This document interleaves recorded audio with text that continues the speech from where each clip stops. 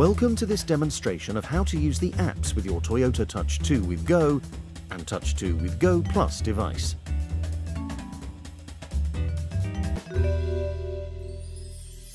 First of all, make sure that your phone is paired with your Touch 2 and connected to the internet. For more information on how to do this, please watch our online film, How to Pair Your Phone for Calls, Music and Internet. So once your phone is paired and you're online, go to the Toyota Online menu. From here, you can access the Touch 2 pre-installed apps such as fuel prices, parking and weather.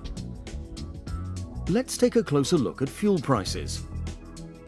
Touch the on-screen icon and fuel prices will automatically download to your device. These can be ordered by brand, price or distance from your vehicle. Press your preferred option to get more details such as the full range of fuels available at this petrol station. Now you can start navigating to this location. Parking is another pre-installed app. You will see real-time parking options appear with the current availability for each option. Red, yellow and green lights signal the levels of availability.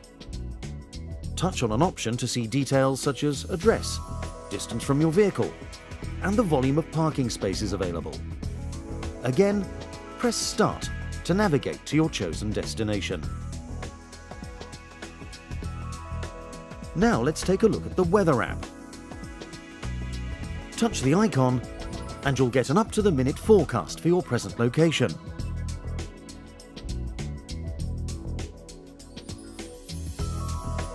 Or any other location of choice.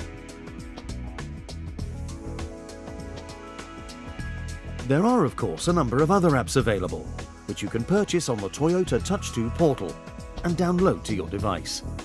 For more information about purchasing and downloading apps, please watch our online film, Over-the-Air Installation of Apps. Here are some apps that have been previously downloaded to this device using the Toyota eStore application.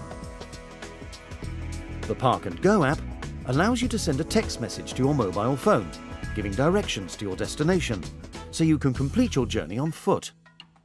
Simply type in your mobile phone number and choose if you would like turn-by-turn -turn directions or a link to Google Maps to help you get to your destination, then send.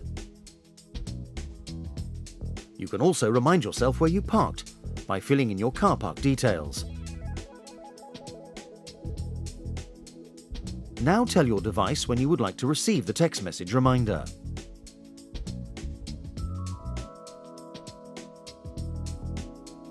The message you send to your phone will help you find your car when you return from your destination.